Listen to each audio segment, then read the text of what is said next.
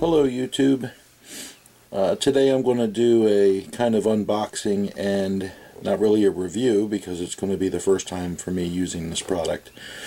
But for the uh, Solar 11 in 1 uh, battery charger. Um, and this is the box that the device comes in. Um, and that's a picture of the charger on front in the front there. And uh, on the back of the box actually it has um, let me flip it over here. Um, some pretty detailed information uh, on this on the back of the box here uh, about charging times. Um, basically to make a long story short um, I try to get all this in frame here. Um, it's going to take about nine hours in full sunlight to charge a set of batteries. And uh, I think I say this uh, multiple times in this video. The only con I have found about this device so far is that um, it only charges um, a set of two, uh, only two uh, batteries of the same kind. So I can only charge two AAA or two AA at, at one time. Um, but for my needs, I believe that uh, that's fine. This is just a backup type device. Um, and if the shit ever hit the fan, I just want to have a way to uh, charge um, my batteries for flashlights and such uh, without um, being on the grid. So for me, um, this is going to work. Um, it may be a better idea maybe to have uh, two or three of these chargers. Um, that way you can charge, uh, you know, more sets of batteries at one time. Or maybe there's bigger chargers out there, uh, solar chargers that do this. I don't know. This is the one that I picked up, though. All right, stay tuned. Thank you. Uh, inside the box, uh, you get a full instruction manual um, inside the box. It's pretty, pretty detailed with some information in here. Um, and then on the inside of the uh, manual it has all different kind of diagrams how to load the batteries.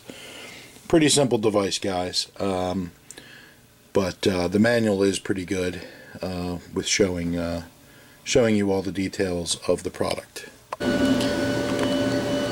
So today seemed like a nice sunny day to test out the 11 in 1 solar charger that I have here.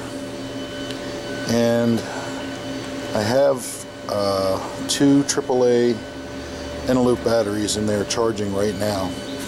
Um, so as you can see the meter is kind of pecked over there to being on full. And that's how I know that this thing is charging. This is my first time using this device uh, by the way and if I go ahead and cover up the solar panel on top, you see that the meter, you see that?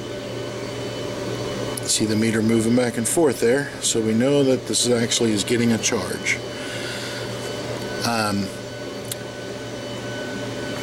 so I'm going to let this out here all day in the full sun here, and we'll see what happens. Alright, now I've opened up the, uh, the part here of the charger. Uh, this door has a hinge on it on this side and just opens up.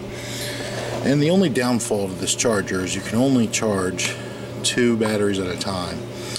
Uh, two of the same batteries at the time at the same time anyway. If I had C's or D's, I could put them in there and charge them, but um, two like batteries at the same time. So I can only charge two AAA's at a time and this is just kind of a backup type deal anyway. Um, so that's fine for my needs. Um, so you can see that the meter uh, now is uh, that that solar panel is out of the sun. I'm going to close it back up.